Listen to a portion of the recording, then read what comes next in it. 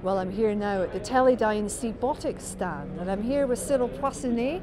You are going to explain to me this fascinating setup of equipment here. To me, to the untrained eye, it looks like a toy, but my goodness, it, it is not.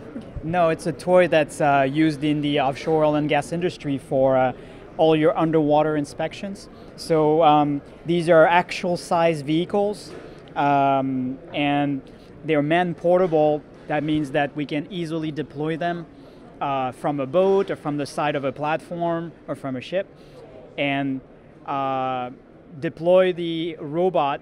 These are underwater submarine. We deploy them in the water and then they can provide video real time to the surface using the control console that you see here.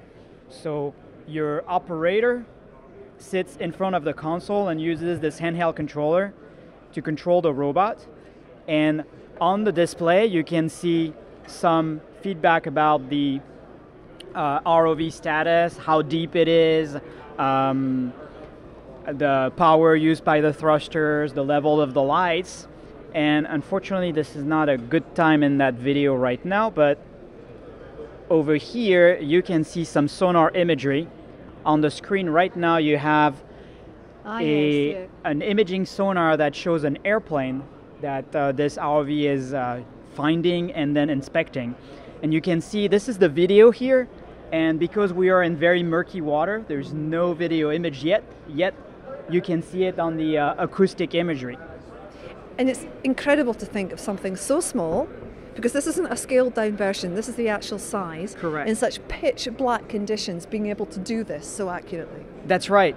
And uh, not only are they, do they give you the capability to go in, uh, in places where you would normally not put a larger vehicle, uh, they give you the ability to see through murky water. And um, if you think about it, a lot of the larger work class ROV, when they're not producing work, they just use video, and the quality of the video that is provided by small vehicles is the same that's on the larger vehicles. So this provides uh, capability at a reduced size and cost.